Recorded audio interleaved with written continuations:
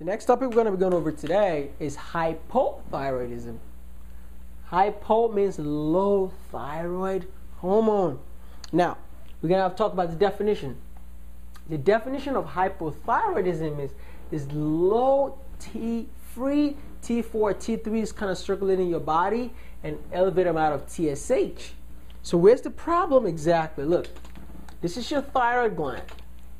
If it's not making any thyroid hormone, right? I'm just going to call it TH. What is going to happen to the regulatory center in the anterior pituitary? They're going to be like, wait a minute, the thyroid gland is not making any hormone. You need to make more. You need to make more. So what's going to happen? TSH is going to keep saying, listen, dude, make more, make more, make more. But it's not listening because it's not making anything. So TSH is going to be elevated. So that's the definition. Now, what exactly causes you to become hypothyroid? One of the most common causes is chronic thyroiditis. Now, in Graves' disease, the thyroid immunoglobulins that I talked about, those IgGs, they act on the TSH receptors and act like TSH. And they said, listen, I want you to make a lot of thyroid hormone. But the reverse is true when you go to hypothyroidism, because in this case, the antibodies actually destroying causing inflammation, right? Thyroiditis, infl- inflaming, destroying the thyroid tissue. So what happens is your thyroid tissue is chronically knocked out. So it's like a dead man. TSH is like, listen, Joe Blow, thyroid gland, make some thyroid hormone. It's like, uh, no, I can't. You know why? Because the thyroid immunoglobulins in this case are actually destroying the gland and that is called Hashimoto's disease. I like that name, Hashimoto's. You got to put a little bit of bass in it.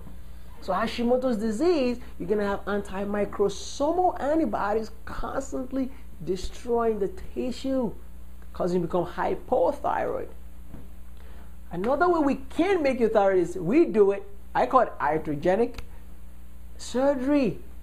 Somebody that has too much hypothyroid, and we go in there do a surgical ablation and we cut out the thyroid gland and we take the tissue out. Guess what? Now you don't have any thyroid. It doesn't matter what your TSH does. It's going to get there like, oops, there's no receptors. Exactly. We took it out. Or we can give you a radioiodine therapy, right? If I give you iodine 131 isotope, it's going to destroy the tissue. And if the tissue is destroyed, it's no different from the antibodies destroying the tissue. Drugs, amiodarone.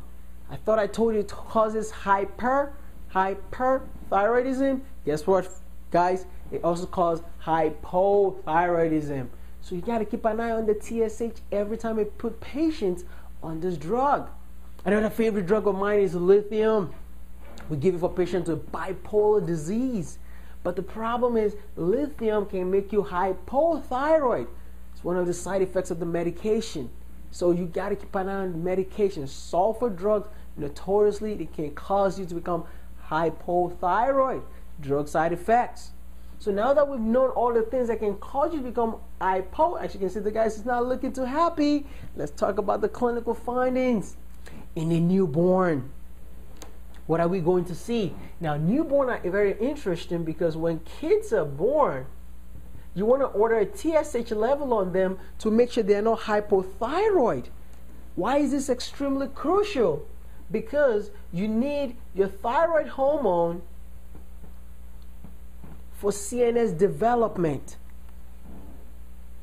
The brain and the spinal cord, when you're born, a newborn, strictly depends on the thyroid gland to make a lot of thyroid hormone so that you can mature your brain. Guess what happens if you don't have it? Ah, side effects of not having any thyroid gland.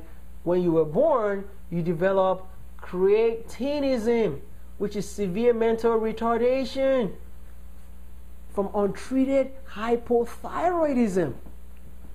These patients also eventually develop dwarfism because you need the time because if as they grow older and they still didn't catch it so the baby is not growing because you need a thyroid gland for growth so Dwarfism is another, so we can see, let's say this guy is about a two inches tall. That is just an over exaggeration, but that's to show how short they are. You see how flat their nose is? They get flat noses. These are just characteristic features of a baby. They're mentally retarded. That's the MR. And this is a, a picture of a baby that might have congenital hypothyroidism. Look at how wide the eyes is.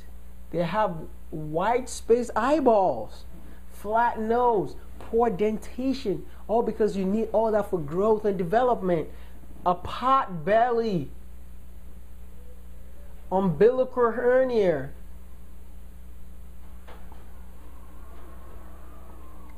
and they're very short, so they're also dwarf very dry skin, delayed bone development. This is severe congenital hypothyroidism. So you want to always keep an eye on this when kids are born. Now, on the flip side of things, when they're much older and older people develop hypothyroidism, let's see what happens to them. Clinical features in adults. Now, this is how I always remember hypothyroidism hypothyroidism and hyperthyroid. When you're hyperthyroid, all over the place, everything is out of whack. Your basal metabolic rate is out of whack. And you're just doing crazy things. Your palpitates, your heart is racing, you're sweating, you're basically running over, you can't sleep, right? Insomnia, your eyes are pretty wide. But when you're hypothyroidism, everything is low.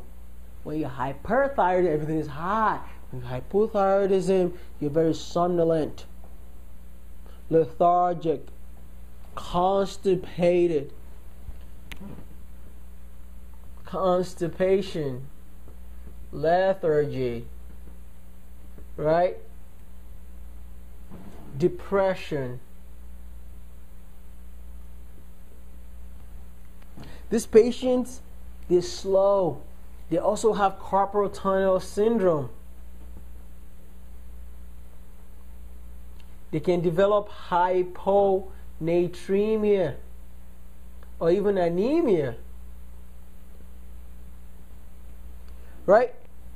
One of the very classic signs you bang on the tendon and it's very, very slow deep tendon reflex with prolonged relaxation phase. Decreased deep tendon reflex. Now, eventually the skin and the face is going to become a little bit puffy, a large tongue. Kind of everything is kind of slowed down because your basal metabolic rate is very slow. So that's how you basically remember hypothyroidism. If everything is slow, everything in your body slows down. When it's too high, everything goes high out of whack. You're driving at 120 miles per hour. Don't do that. That's dangerous. So you have cold intolerance. Right?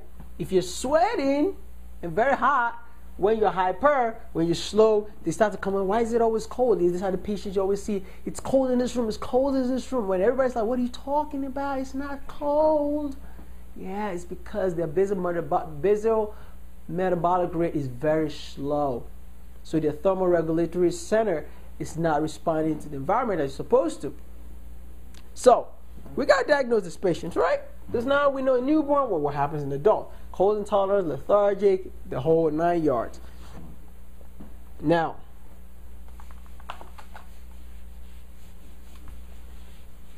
I already told you the answer how we diagnose this. You're going to order TSH and the TSH is going to be very, very elevated because the TSH thinks, doesn't realize the thyroid gland is not making anything and the free T4 and free T3 is to be what? It's very, very low because they're not making any thyroid hormone. And that's what gives you the diagnosis. So since we know what the problem is, you just got to treat. So how do we give you treatment? Well, it's a bunch of things. It's very straightforward. You're not making thyroid hormone. What do we give you? We give you thyroxine. Levothyroxine.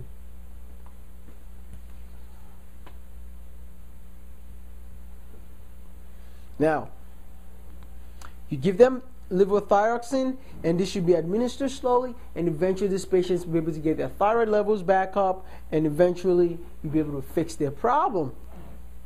Now, also realize you can also become hypothyroid if you have issues, secondary hypothyroidism, if you can't make any TSH, that's called secondary hypothyroidism. And lastly, you can develop tertiary hypothyroidism if you're actually not making any thyroid releasing hormone.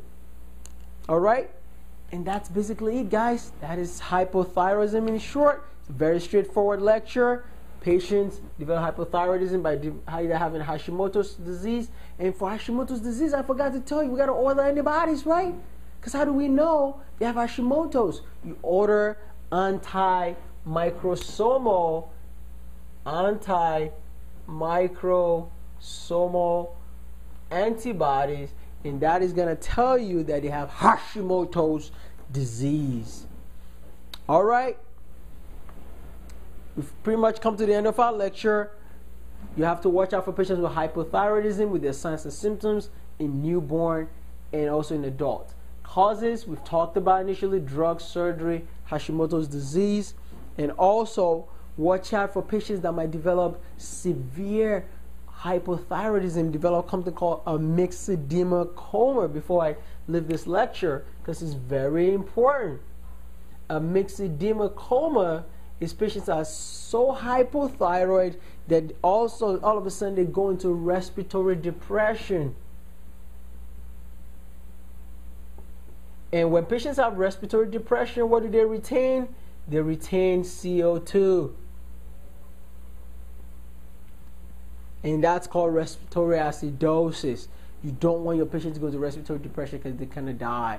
They can herniate their brain because of vasodilation, because CO2 causes increase intracranial pressure in the brain, and this patient can die. So you want to give them levothyroids in high doses right away so you can fix this patient. And this usually these patients develop this from you know cold exposure from trauma, infection, surgery, and that's what tips them over the edge and they go into coma uh, even from severe hypothyroidism. But that's a serious emergency you always have to watch out for. Thank you very much for watching this video, and I hope you learned everything you need to know about hypothyroidism.